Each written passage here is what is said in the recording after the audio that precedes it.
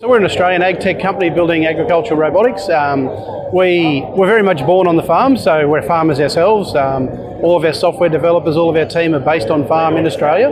Um, we, I guess we pride ourselves in practical technology that farmers can use, and one of the things that we, one of our big milestones uh, earlier this year, we cracked one million acres commercially farmed with our robots, and um, we're very proud of what our teams are, are kind of um, I guess, achieved in that. Um, but they're genuine hand over the keys, autonomous robots.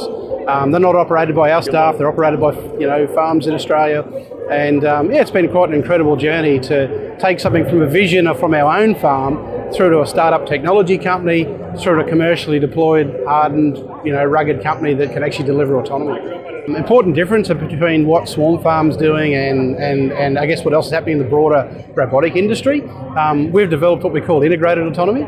Um, so we build base robots or base, base platforms, which are the robots themselves. And if you look actually at this picture here, um, we just build autonomous robots. So we build this part. We don't build the spray tanks. We don't build the spray booms. We actually partner and integrate with third parties to put the technology on board. So we took a view very early in agriculture that you know the world needs a platform and we need a, a platform to deliver autonomy onto farms.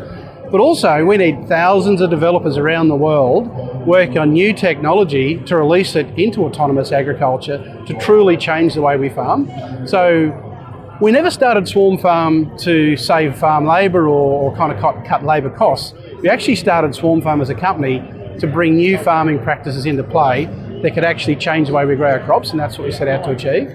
And so that's why it's so important with integrated autonomy that we're now building the platform that allows companies around the world that have developed new weeding technology, fruit picking technology, um, chemical free um, pest control technology, uh, more efficient ways to use fertilizers, application of biologicals on plants. We're allowing the kind of innovators developing this new technology to get their products to market. And um, I think that's really important because you know farmers need autonomy and they need these new farming practices but also, AgTech needs a pathway and a way for it to be delivered practically, and that's kind of what we're doing here. We, um, we deploy our robots with farmers and for a three year period. So farmers sign up for one of our robots for a three year term. Um, we fully support that robot for the three years and then we change that robot out three years down the track. Um, it's a really good model because um, the technology is moving so fast that three years down the track, our robots are pretty much obsolete. Um, Software is harder to support on older hardware, um, and um, I guess with the amount of utilisation that we're getting now, our customers are cracking, you know, 3,000 plus hours a year on our robots now. Um, it's not a toy. Um, and so three years down the track, we're getting close to 10,000 hours on the clock of these machines. Now, you know, if you look out there, most people buying new tractors and farming machinery who buy them new don't own them for 10,000 hours. They've traded them in before then um, because of reliability. Well, it's the same in autonomy. No one wants an unreliable autonomous vehicle. So that three-year term has actually been a really good way to roll our technology out so farmers don't get stuck with legacy equipment that no one wants, that we don't get stuck with technology we can't support as new generations of technology come out. Um, it's actually worked really good and our customers really like that model. So, you know, we're starting to see broad scale adoption of autonomy in Australia. So it's not hard to drive around areas of Queensland and New South Wales now and see our robots running autonomously in paddocks and it's, it's sort of the norm in some towns where um, the adoption's been really high. And um, as we're starting to scale out now and grow the company, um, there's more and more robots um, pouring into these farming areas in Australia. So it's been a really exciting journey here in Australia. I think um, I think also, you know, in terms of the broader industry and ag tech, we've probably focused a lot on single point solutions. Um, so, you know, trying to solve, um, you know, one particular problem. You know, how do I kill weeds with steam, or how do I, you know, inter-row cultivate between weeds, or how do I pick a tomato? Um, these are really hard problems to solve, and, and, and take a lot of work. And you're seeing a lot of venture capital burn up into these um, solving these problems, and they are really important problems to solve.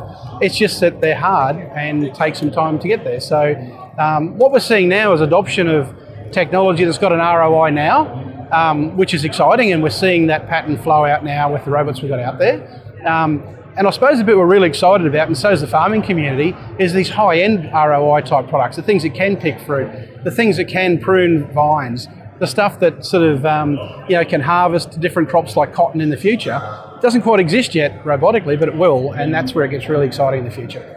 For the future of Swarm Farm, um, you know, we, we build partnerships with other companies and help get their product to market. Um, like I said, we don't build tools and attachments for our robots. We just seek to help everyone get to market and, and partner with us and, and help us get to customers. So um, I think our growth is going to be really you know, built on those partnerships we've already built and also new partnerships as well. Um, we'll send our first robots into North America next year. So thinking about first deployments, where we send them, which industries they go into, and where we can find an ROI now that makes sense, um, knowing that some ag tech's still coming that we're excited about but not quite ready yet, through to tech that can actually fit on board and actually start making a difference uh, with autonomy as well. So um, it'll be pretty interesting for us as we start to spread our wings outside Australia.